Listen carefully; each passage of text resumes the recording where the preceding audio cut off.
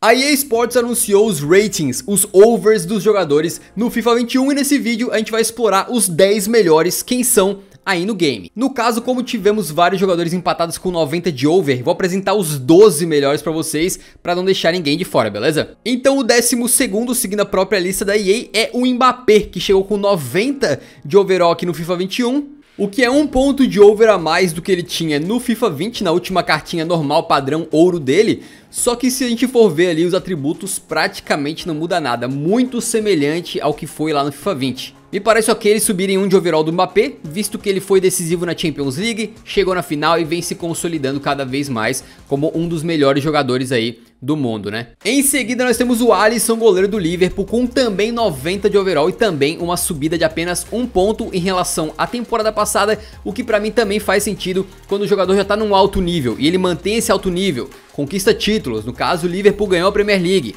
com o Alisson pegando muito novamente, faz sentido que ele receba aí uma pequena recompensa no jogo. Agora de fato entrando no top 10 temos o Salah do Liverpool com 90 de overall, que é o mesmo que ele tinha aí na sua última carta padrão ouro no FIFA 20, né? Também acho que não faria muito sentido subir e além disso, ele estava já bastante alto e apesar de ter sido campeão na Premier League, não foi a temporada mais brilhante que o Salah já fez, então manter ele no 90 pra mim é assim aceitável. Em nono lugar o parceiro do Salah, que é o Mané, pegando 90 de overall também, o que é um bom upgrade de 2 pontos em relação ao que ele tinha na temporada passada.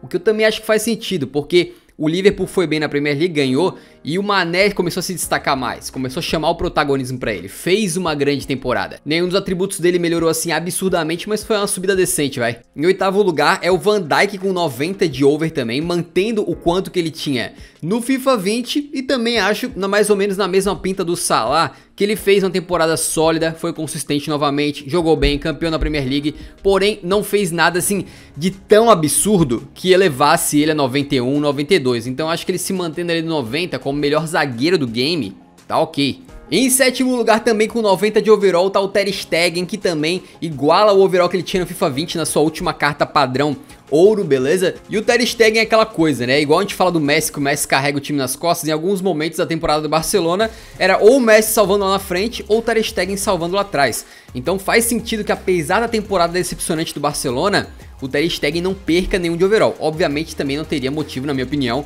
para aumentar, então 90 me parece justo, o que é mais ou menos o caso também do sexto colocado, que é o Ian Oblak, né, com 91 de overall. Na minha modesta opinião, tem sido um dos melhores goleiros do mundo por várias temporadas consecutivas, fez mais uma temporada sólida e apesar do Neuer ter acabado muito em alta, por causa da vitória na Champions League, das suas grandes defesas nessa temporada, o Oblak pode ser considerado por muitos até como o melhor goleiro do mundo, então 91 de overall me parece correto, é o melhor goleiro do game. Em quinto lugar nós temos o Kevin De Bruyne com 91 de overall, Kevin De Bruyne que muita gente pensava que se o City fosse longe na Champions, ganhasse ou chegasse na final, ele teria chance de concorrer brigar pelo título de melhor jogador do mundo. É um cara que como não vai fazer assim 40 gols numa temporada, muitas vezes algumas pessoas não dão aquele valor todo para ele, mas se você assistir um jogo é muito claro, ele organiza o time do City de uma forma brutal, cria chances como poucos, tem uma visão de jogo, qualidade do passe que é realmente top de linha,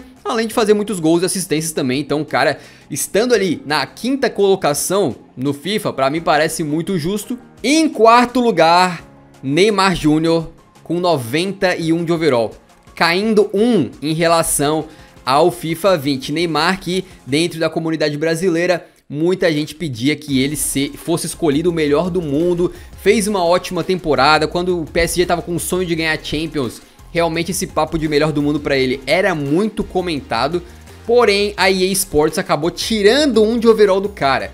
Eu tenho minhas suspeitas de por que, que eles fizeram isso, mas eu já vou comentar, beleza? Por enquanto a gente vai pro terceiro lugar, que é o Lewandowski, também com 91 de overall. Esse aí, obviamente, que merecia o upgrade de dois pontos que ele tomou, né? A última carta padrão ouro que ele tinha era 89 e para 91 são dois o que é totalmente justificado. Lewandowski surge e desponta como favorito a ser o melhor do mundo nesse ano de 2020 50 e poucos gols na temporada, altamente decisivo, né? Na reta final da Champions nem tanto, vai. Mas realmente um cara que deitou e rolou na temporada, provavelmente vai ser o melhor do mundo.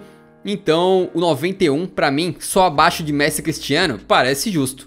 Agora chegamos no segundo colocado, que é o Cristiano Ronaldo, mais uma vez atrás do Messi, mas com uma surpresa, ele caiu para 92 de overall. É uma queda de um ponto, né? Ele tinha 93 no FIFA 20. Faz muito tempo que o Cristiano Ronaldo não tem menos do que 93, era sempre 93 ou 94 por várias temporadas consecutivas, e nesse ano ele teve um bom desempenho, ótimo desempenho, mas não um desempenho daquele Cristiano Ronaldo que a gente estava acostumado, de deitar e rolar a temporada inteira. Portanto, na minha opinião, e também considerando que a Juve caiu cedo na Champions League, eu considero que uma queda de um de overall é ok pro Cristiano Ronaldo, é ok.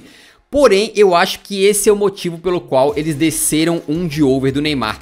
Eles não quiseram deixar o Neymar com 92 e deixar o Cristiano Ronaldo com 92, porque isso igualaria os dois e viraria uma narrativa assim de que eles estariam forçando a barra, eu não sei, poderia pegar mal com o Cristiano Ronaldo mesmo.